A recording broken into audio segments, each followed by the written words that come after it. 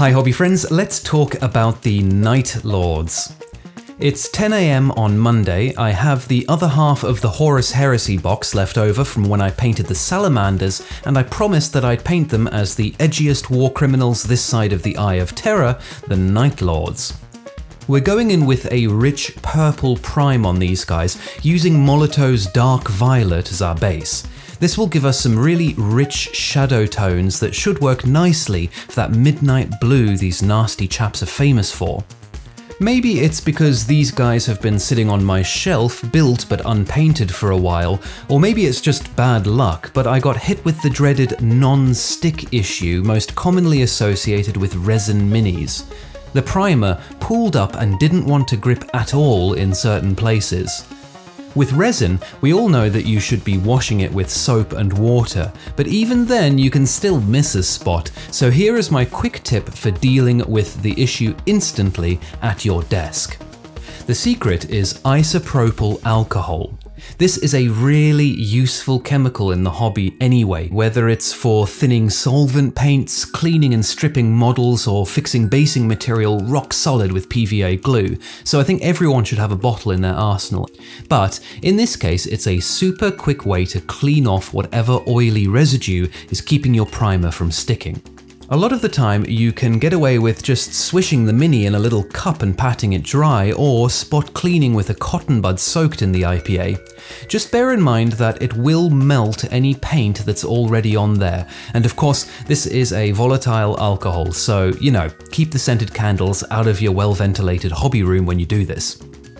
Alright, with the boys cleaned up and the priming finished, I moved on to our first highlight stage, and for this I'm using another Molotow paint, Sahara Beige, which is a sand yellow as you can see. If you've been watching my videos for a while, you know what I'm up to here, and if not, I promise I haven't gone mad or developed a very rare yellow-blue colour blindness. You'll see what's going on in just a second. I'm treating this yellow as the main highlight colour, spraying it on more or less as a zenithal prime, but also trying to shape my volumes a little, as you see here, where I'm doing a pretty classic cylinder highlight on the Dread's body.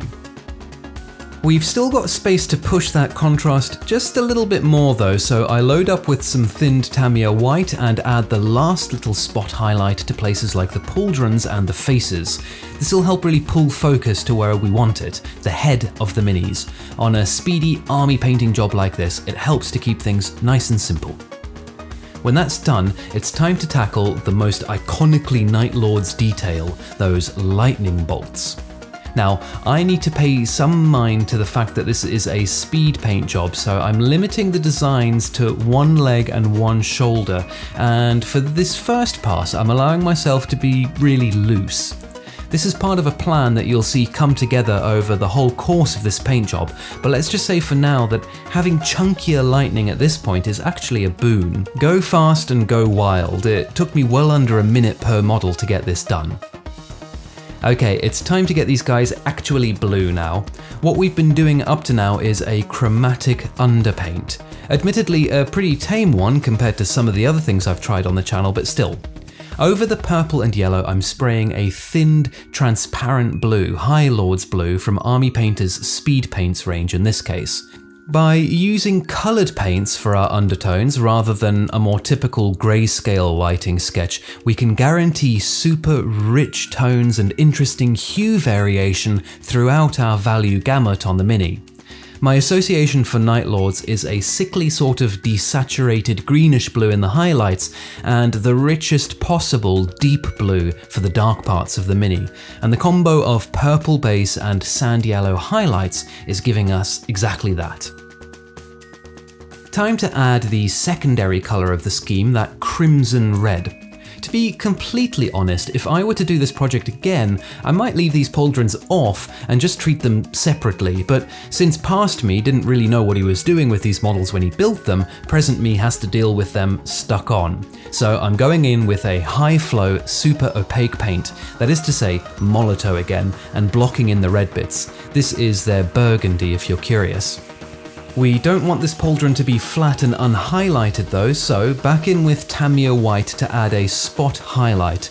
I'm going to add a red filter over the top of this, so again, please don't think I'm going crazy spraying white on red here. Normally I choose a warm, high value yellow for my underpainting highlight for red, but sticking with my desire to make these guys a little sickly or drawn looking, I thought it'd be interesting to try straight white, in a sense looking to lose some richness in the hue here. When they were all done, I got some crimson ink and matte varnish on my wet palette and laid down a crimson filter. You could definitely use a contrast paint here, but transparent inks and some kind of heavier bodied medium is a good approximation too. Day 2 and time to start blocking in the other colours.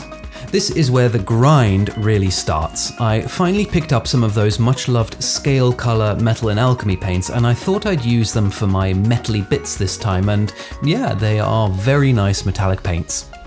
Just blocking those in was two hours or so, but the grind was only just beginning. Next, I threw some black on the palette and went after those black bits like the gun, the under armor, and all the bits and bobs the boys like to keep on their belts. Two and a half hours to get through that lot, and time to work on the studs now. Now, I'll admit my ignorance here, but there seems to be a not so perfect consensus on whether the Night Lords are trimmed gold or silver. Maybe it's a 30k versus 40k thing, a preference thing, or something else entirely, but I thought I'd hedge my bets by doing the bits on the backpack silver and these studs in gold. In any case, I like the combo, which is all that really matters. 240 studs later, it was time to go for round 2 on the Lightning. This time I'm after a slightly thinner, more controlled look. Because the previous lightning is thicker and partially hidden under that layer of transparent blue, what we're doing here is building up a pretty easy glow effect.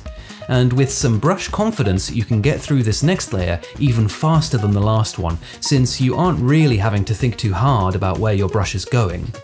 This is a good opportunity to mention something about brush control as well. Obviously, just attempting fine work like this more and more is what will really get your brush control game up, but here's something else to consider. Brush control is paint control. What I mean is, you can have the steadiest hands, a perfect lighting setup, and impeccable 2020 detail vision, but if you're working with paint that is the wrong consistency, you're going to have a bad time. You want the paint running smoothly off the brush, but you don't want flooded bristles, so thin your paints properly, but also tap your brush on a dry bit of paper towel to wick off excess moisture after you've loaded it up. Okay, time to redefine some of those panel lines now. Nothing pushes details on your Mini like a little dark outlining. I'm going for an oil wash on these guys, and in true speed painting fashion, I'm looking for a two for one deal with this step. But, unfortunately, the Army Painter paint I used for my blue has the feature of reactivating and rubbing off quite easily. So I'm going to varnish these guys first to make sure everything is locked in place. I'm not using the gloss varnish usually associated with pin lining oil washes though. I'm using a nice matte varnish that will help the wash act not only as a liner, but also as a filter. I'm going to mix up my own really dark blue here using a combo of turquoise, green and magenta. Now, you could go in with plain old black or a blue you like straight out of a tube, but if you're a bit colour mad like me, mixing up your own tone is part of the fun, so why not give it a go? That gets slathered all over these guys, and by the time the last one is done, we can start the cleanup on the first one. Just a nice, easy pass with a makeup sponge, brushing off excess paint on the highest highlights. And if you're a really sharp cookie like me, you can full screen the last episode of that Warhammer Plus show you've been watching while you do it, and not notice that all your cleaning up is happening out of shot. We're up to day 3 on these guys now and it's time to start rounding out the details and getting them over the finish line, starting with those eyes. I'm always looking for new options and on these guys I tried a slightly modified version of the usual lens and gem technique. First, I applied a deep red base coat, then a brighter red along the bottom as you normally would, and then I flooded the lens with a red fluorescent paint, wicking away the excess to leave a little pool at the bottom. When that was dry, I did a similar pass with orange fluorescent paint. That may be four steps, but because none of them requires much control or finesse, the whole process goes quickly and still looks pretty good.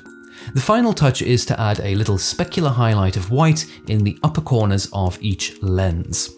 Bases now, and the main part was super simple here, a heavy dry brush of dark and then lighter grey.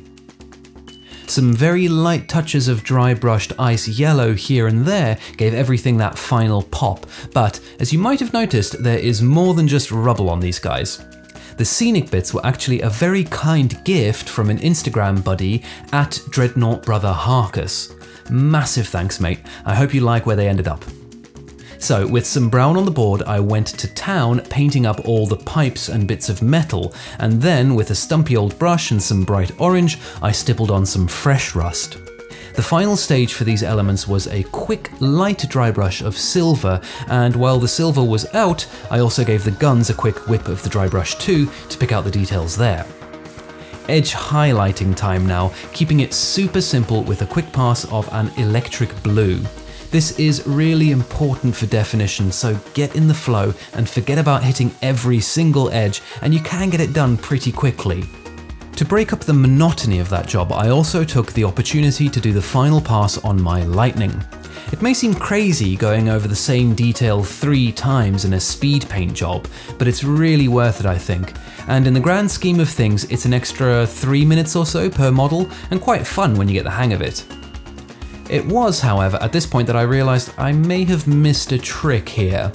Another option, instead of going for progressively thinner lines to get that glow effect, could be to do totally different lightning patterns at each layer, so you end up with a crazy 3D lightning storm effect. I don't know, but I think it could look pretty cool. Maybe I'll try that on the Praetor if I ever get around to painting him, or maybe even the King of the Goths himself. I grabbed that splodgy brush again to throw some scratchy highlights on the silver metallics and added some creepy, occultish rune free hands to the little shoulder shields of the Termes.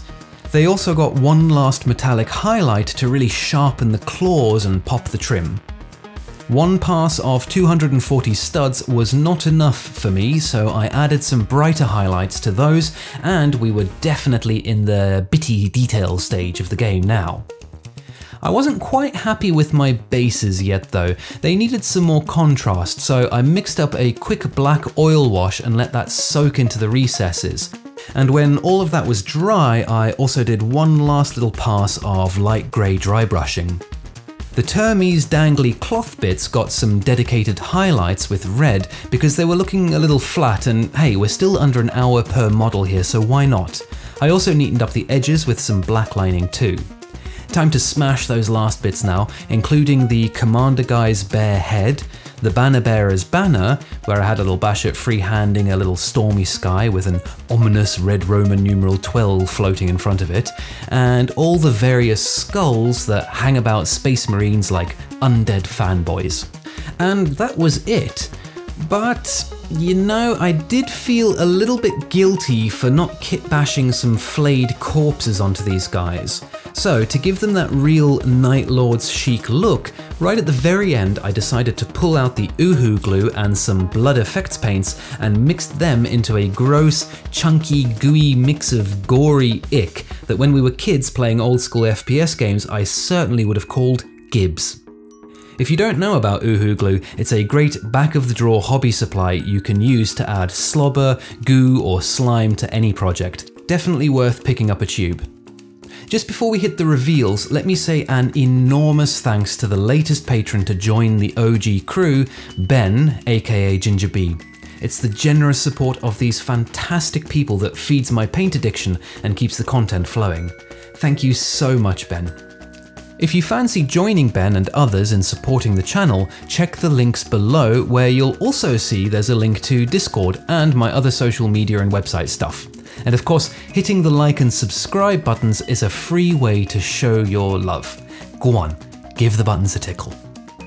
Okay, there you have it 26 Heresy era Marines, all done in about 20 and a half hours, or an average of 47 minutes per model. Thanks so much for watching, guys. Let me know if you have any questions in the comments below, and I will see you next week.